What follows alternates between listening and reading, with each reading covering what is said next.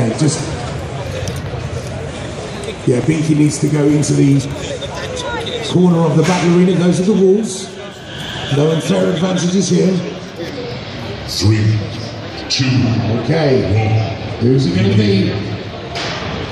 Okay, Binky makes a slow start. He's just preparing himself, getting that spinning device. Is he going to. Does it work? Devil's Coach Horse making a bit of an attack at the moment. But Carcinus is waiting for the right opportunity to clamp down on his opponent, on his victim. Binky's looked like his main primary weapon is now disarmed. So pretty much that's it for Binky. It's just a, a remote control device. It's not a, an attacking killer machine. That spinning blade, that cutting tool, emits devastating power when it operates, when it works, but it ain't working. So it really is it really is anybody's game at the moment. Binky is just wandering around aimlessly with no real sort of attack ability, just pushing and shoving.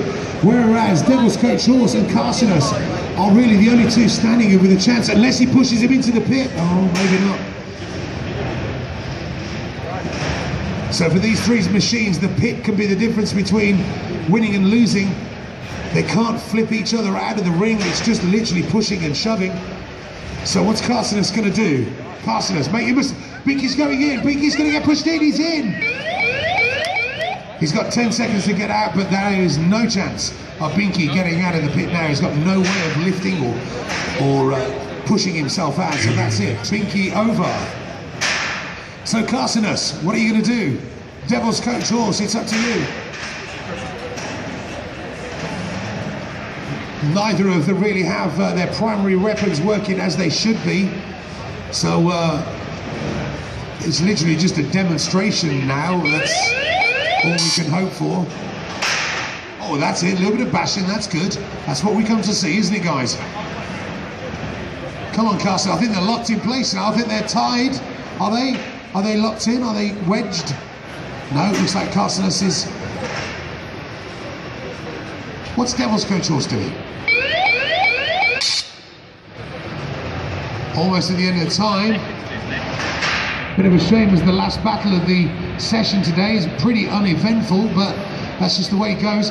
It is a tactic game now, so can one of them be pushed into the pit? If they do, then they have won.